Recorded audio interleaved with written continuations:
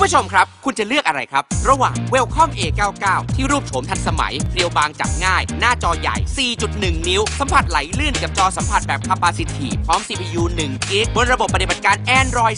2.2 รองรับความบันเทิงระดับ HD พร้อมพอร์ต HDMI เอาไปต่อออกจอทีวี และยังมีระบบนำทางภาพโกแถมให้